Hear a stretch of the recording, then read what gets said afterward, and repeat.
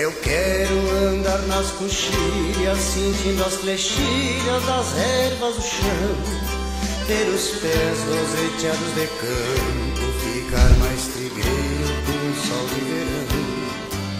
Fazer versos cantando as belezas desta natureza. Desembargadora Iris Helena aqui cumprimentando a deputada Nadine.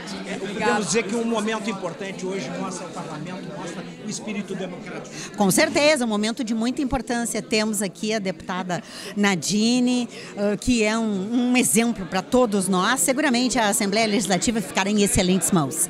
Tranquilidade ao povo gaúcho chancelar o evento hoje, a presença dele? Sem sombra de dúvida, né? Primeira mulher comandando o Poder Judiciário e eu assumindo hoje o Poder Legislativo. Então, a presença da desembargadora Iris é realmente especial e eu acho que nós mulheres estamos provando que nós podemos estar em qualquer lugar, como a gente diz, não pelo fato de sermos mulheres. E isso tem mudado e transformado a sociedade gaúcha. Então, a presença da desembargadora Iris é sempre muito especial. Desembargadora, uma mensagem para a nova presidente da Assembleia hoje assumindo aqui.